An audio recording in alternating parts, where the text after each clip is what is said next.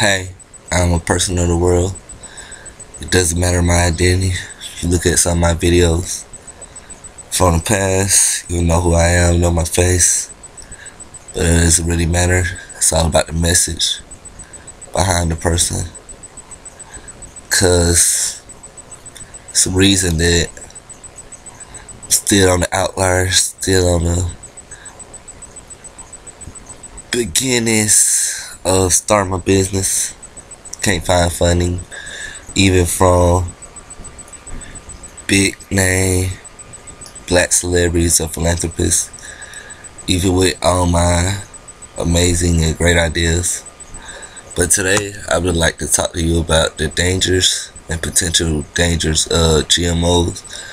I have actually contacted the news organizations a while back but you know, big funny, big money trumps human lives, normal people lives, the lower class. And should there be a lower class? I think not. But we live in a capitalist society where your value is placed on how much you can earn, how much people can earn off you. They only give you pocket change compared to what you're worth. We're all economic slaves. Alright, so a while back, I realized that most of our foods, vegetables, fruits, they're genetically modified organisms, GMOs, are really, really dangerous. Not for the reasons that they're telling you about, but for the reasons they're not telling you about. So, GMOs, or some of our basic agricultural foods, which the U.S. government and FDA does not think should be labeled or we should be aware that we're eating, are uh, potentially carcinogenic and are killing everyone. I don't eat much vegetables, much of anything. That's why I'm so skinny. But GMOs have been made so that they make their own pesticides. The farmers no longer have to spray them, but will bite it, die, or realize that they should not eat it. Because bugs are becoming more and more immune to all our basic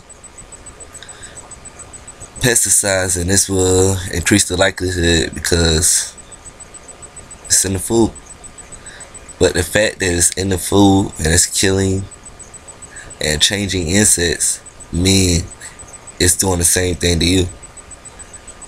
People and workers have had tremendous negative health effects from coming in close contact with pesticides that they spray on the crops that we eat. They have to wear like hazmat and protective clothing. Not hazmat um, clothing. That's for dangerous stuff that would actually cause alarm if they walked around in hazmat suits, spraying chemicals on our farms and vegetables and stuff.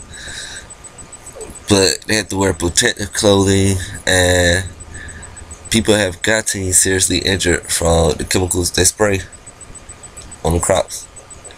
But like I said, now it's actually in the food, so you can't wipe it off. You can't wash it off with water. It's actually made into the very food you eat, so you're exposed on it on a macro, um, micro level, but also on a macro level as it's in a lot of the products we eat. Now, the dangers of this is the same problem that they ran into with PCBs.